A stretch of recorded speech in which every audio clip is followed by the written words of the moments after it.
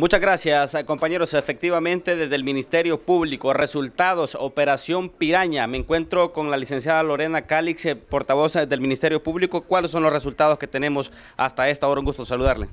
Buenos días, desde tempranas horas del día de hoy se lleva a cabo la operación Piraña, en este caso liderada por el Ministerio Público y que precisamente está a favor de los consumidores y de la niñez hondureña. En ese sentido, los fiscales del Ministerio Público adscritos a la Fiscalía de Protección al Consumidor y la tercera edad, asimismo de la Fiscalía Especial de la Niñez y oficinas regionales y locales se encuentran liderando los equipos de trabajo que se conforman para inspeccionar diferentes puntos situados en las principales ciudades del país. En esta oportunidad, en balnearios, bodegas, supermercados, terminales de buses. Asimismo, se espera la colaboración de la Dirección Policial de Investigaciones de PI, Policía Preventiva, Tigres, Policía Militar del Orden Público y Direcciones de Justicia Municipal.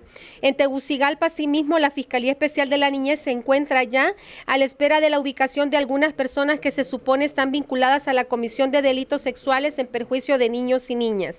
En los, eh, los agentes de tribunales también visitarán en, este, en otras localidades la casa hogar Las Casitas, asimismo asilos donde se da albergue a personas adultas mayores.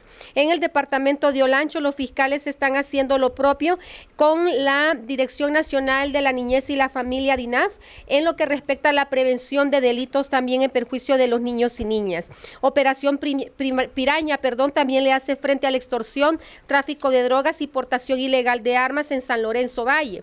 Asimismo, se coordina la práctica de ocho allanamientos en el municipio de Concordia, departamento de Olancho, y también se están haciendo allanamientos para la ubicación de la estructura criminal Los Nazar. Simultáneamente, 20 allanamientos se practican en tres departamentos, en Cortés, Lloro y Santa Bárbara, para el combate del narcomenudeo, mientras que ya se tienen las primeras detenciones en lo que respecta a propiedad intelectual e industrial porque se ha seguido una línea de investigación de personas que han falsificado la marca del Hotelsa y estas personas están, estarán siendo presentadas próximamente ante los tribunales de justicia.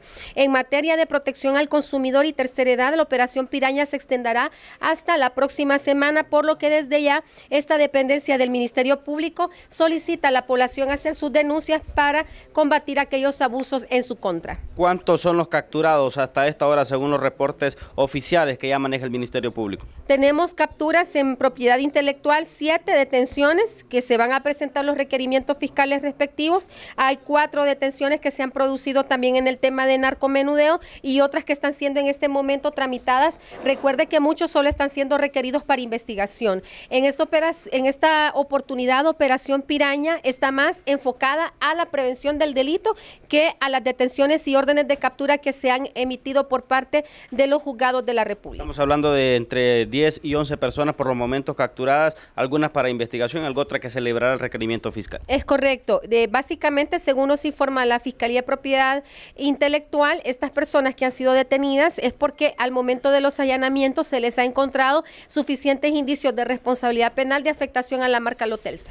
Muchas gracias, licenciada Lorena Calix, portavoz del Ministerio Público. Resultados de Operación Piraña, por lo menos 10 a 15 personas ya estarían detenidas, algunas para procesos de investigación y otras pues con requerimiento fiscal para ser enviados a los juzgados de la República. Daniel Espinosa en cámara con ustedes a los estudios principales.